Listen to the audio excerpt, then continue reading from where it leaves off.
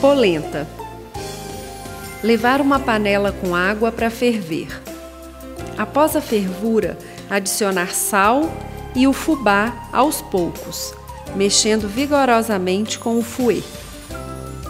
Ao adicionar toda a polenta, abaixar o fogo e cozinhar até que o fubá solte das laterais da panela.